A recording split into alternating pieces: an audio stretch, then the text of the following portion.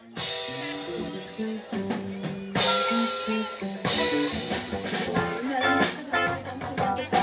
someone heard a rebel yell, I think it was an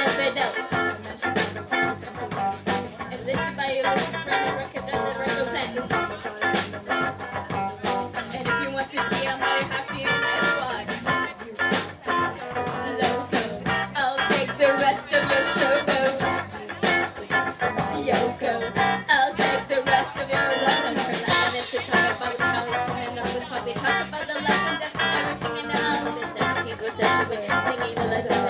you're looking funny, thinking I'm to having and then it's when I thought I won the lottery, the numbers never come.